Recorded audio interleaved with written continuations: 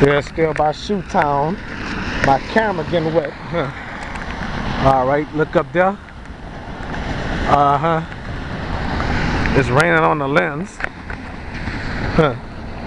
Raining on the damn lens. Okay. All right. Look at Shoe Town right here. Well, this well, well, this place used to be Shoe Town. I- If some of y'all familiar with this area, I don't know when Shoe Town. Let me let me wipe this lens off, okay? Huh.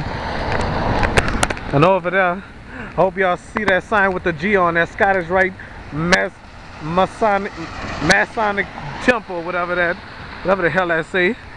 They used to have a purple building on that lot right there. I wonder why the hell they didn't did didn't didn't uh, uh, renovate it instead of demolishing it. Damn, damn this city, huh? And this you, you, you this used to be the chicken mart, huh? Nice, a nice a damn with the nice a damn car wash now, and a barber shop too, huh? I, I, I, I, I only been in that building one time in my life. Used to call it the chicken mart.